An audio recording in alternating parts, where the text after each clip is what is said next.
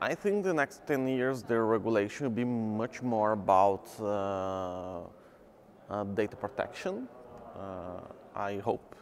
Uh, and right now the, it's, it depends much more the consensus about the countries and about the civil society and governments.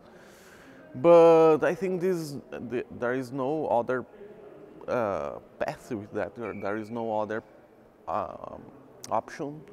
We need to regulate how uh, uh, companies and how the governments uh, deal with the data uh, on the internet.